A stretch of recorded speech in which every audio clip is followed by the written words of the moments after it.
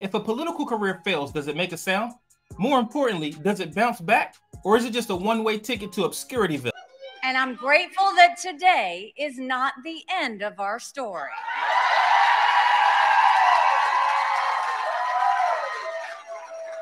We'll keep fighting for America and we won't rest until America wins.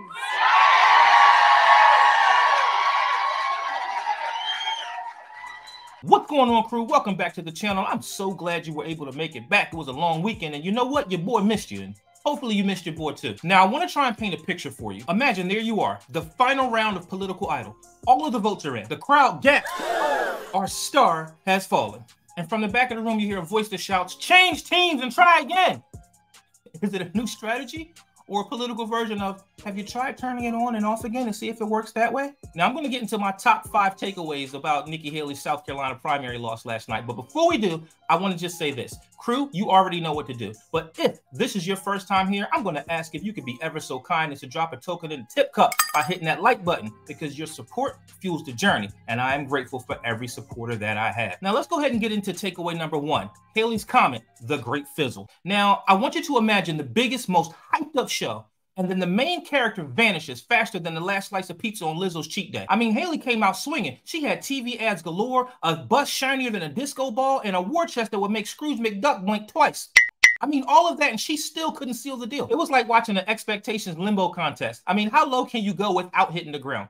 Iowa, let's just call it a graceful third. New Hampshire, a robust 43%, but still no cigar. She danced around those numbers like a cat on a hot tin roof, but when push came to shove, those digits just would not get past the 40% mark. She stated, I am an accountant. I'm an accountant. But fortunately for you and I, this was a numbers game that she was not going to win. Now, Trump, on the other hand, this brother was sweeping the board. He left Haley clutching at those moderates and liberals like the last life raft on the Titanic. And yes, let's talk about that election night party. More like a gathering of tumbleweeds, with the music flipping from CNN to party tunes faster than you can say quick exit. So what do we all learn this past weekend, folks? Well, you know what? That's not fair. I, I, I shouldn't preface the question that way, right? I can at least tell you what I learned when it comes to glitz and glamour and, and, and, bus tours, there isn't enough of them in the world that can save you when the numbers come calling. Moving on to takeaway number two the voters' disregard for Trump's legal issues. Now, in the latest episode of American Politics, The Wild Ride, Trump's legal and political dramas read like a, a, a, plot twist on a primetime soap opera. Despite a corrupt New York judge hitting his brother with a $450 million fine, $83 million on a BS defamation case, and an additional $50 million in legal bills, Republican voters just shrugged that shit off. And let me not forget to mention those shots that Donald Trump took at Nikki Haley and her husband because of their relationship. I mean, if you know, you know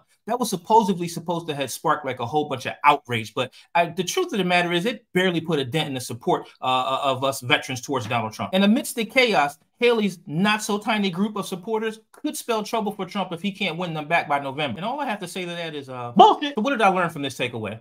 I learned that there's no amount of legal turmoil that can actually shake Donald Trump's base. And there is literally nothing the lamestream media or Nikki Haley's uh, supporters can do to convince us that we should vote for Hillary Light. And that takes me to takeaway number three. If you want to win the GOP primary, you better win over Republicans. Haley? man, let me get myself together, man. Haley trying to win the hearts of the Republicans is like trying to win the final rose on The Bachelor. But here's the twist.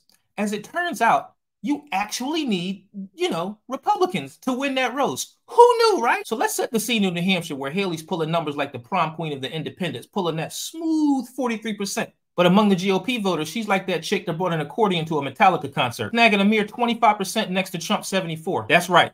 Two thirds of her fan base wouldn't know a Republican primary from a potato sack race. Slash back to Iowa, and it's like deja vu all over again. Haley's dancing with the independents, but when it comes to doing a Republican tango, she can't quite catch the beat and got two left feet. And then, if the saga needed any more spice, when it came to Nevada, she didn't just get beat. I mean, she got smoked. She got beat by none of these candidates.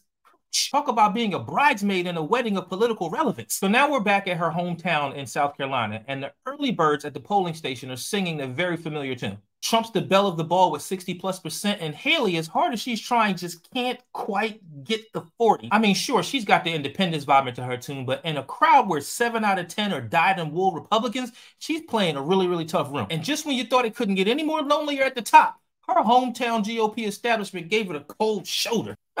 cozying up to Trump like he's the guest of honor. It's like you're 12 years old watching your entire family cheer for the rival kid at the spelling bee. Okay, Crucial, let's talk about Super Tuesday. It's like the Olympics of the primary season. There's 15 states and a territory throwing their hats in the ring. This is where the big delegate bucks are won. But here's the twist. It is VIP only. That means no independents and no Democrat. And that spells a lot of trouble for Ms. Haley, who's been counting those outsiders like they're the last guest at the prom. And check out this genius play. In a bold move, a Haley linked nonprofit is already trying to win over Democrats and independents by spending millions of dollars on TV ads, as if to say, crash our party, pretty please. So, what did I learn from takeaway number three? Well, in a political soap opera, if you're aiming for the crown in the political primary, you might want to make sure that you actually, you know, appeal to Republicans. Otherwise, you're just serenading a crowd that's already waiting for the next act. And that leads me to takeaway number four Haley is not giving up on her stance that Trump can't win in a general election.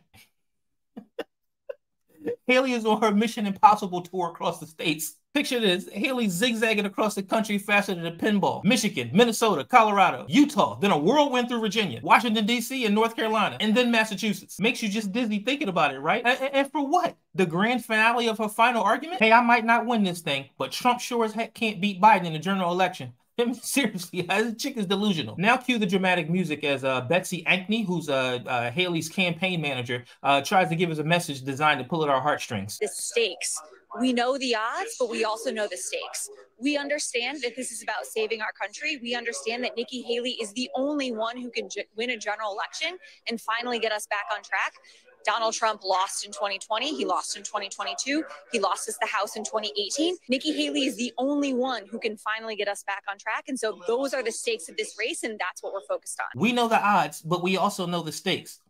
Uh, look here, uh, chick. At this point, Vegas wouldn't take that bet. Now, let's not forget Haley's media blitz, where she's literally been sharp as a tack. I mean, she's like she's hammering home on all of the main talking points. Electability, because um, uh, according to Haley, ever since Trump stepped on the political stage, Republicans have had a losing streak longer than the Cleveland Browns. She's painting a doomsday picture that a Trump-led ticket is going to cause more havoc than a bull in a china shop, and not just threatening the White House. We're talking the whole Congress shindig. I mean, let's count them off together. Iowa, uh, New Hampshire, uh, Nevada, and now South Carolina. They all said thanks, but no thanks to Miss Haley's presidential dreams. Uh, it's kind of hard to claim that your opponent is a loser when they keep collecting wins like they're Pokemon cards. Haley's trying to sell us on the idea that she can lead the GOP to the promised land. So far, the only thing she's leading is a cross country tour of America's finest airports. And that leads me to takeaway number five all that's left is delegate math and money. All right, strap in because this political roller coaster is about to hit warp speed, and the twists and turns are going to be coming at you faster than your teenager's mood swings. All right, so we got Trump our headliner in this political circus. He's racking up delegates like a kid in a candy store. But let's not take a victory lap just yet because, you know, he hasn't won yet. This, this is like a marathon. He's got a lot up against him right now. Now, the plot still thickens as we zoom in on some of the juiciest delegate stuff states on the map. And when you know it, California's up for grabs in March. And that's where Trump's team has been craftier than a fox in a henhouse, setting up rules more favorable than a home game. And I'm here for it. Now, enter Nimarata Nikki Haley, waving her banner of democracy, insisting on something radical letting people vote. Imagine that. Give them a real choice, not some Soviet style lineup with just one name on the ballot. Nikki out here acting like she like that, throwing shade like it's sunny in July. But hold the phone, because Trump squad out here crunching numbers like they back in high school algebra, claiming that even if Haley pulls a Houdini and scores 43% across the board, Trump is still set to bag the nomination by mid-March. Yet the grand finale of this primary saga hinges on one thing. Well, maybe a few. Moolah, bread, dough, scratch, dinero, bands. Despite Trump's deep pockets and treasure trove, Haley's war chest was bulging more in January, aiming to rock and roll all the way till Super Tuesday. So what have I learned from this episode of America's Next Top President? Money talks, democracy rocks, and in the world of politics, I guess it ain't over until the cash runs out. Popcorn anyone? Because this show is just getting started. Let me ask you a question. If your career is a long-running TV series and politics the network, when can you tell it's time for a spinoff or if it's time for the final curtain call? If you enjoyed this content and you want to see more like it, make sure you smash that like button and please consider subscribing to the channel. I'm just going to thank you in advance for checking out my other videos. So until the next one, I'll catch you in the comments. I'm home.